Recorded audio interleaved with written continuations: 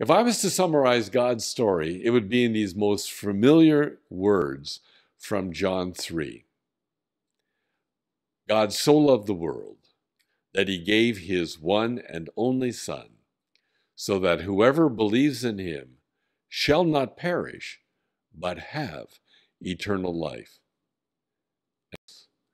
For God did not send his Son into the world to condemn the world, but that the world through him might be saved.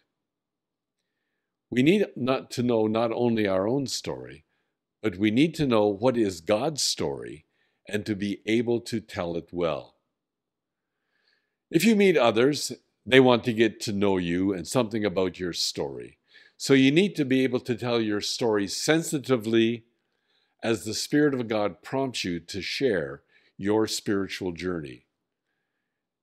If you are open to that, God is going to open some amazing doors in your life.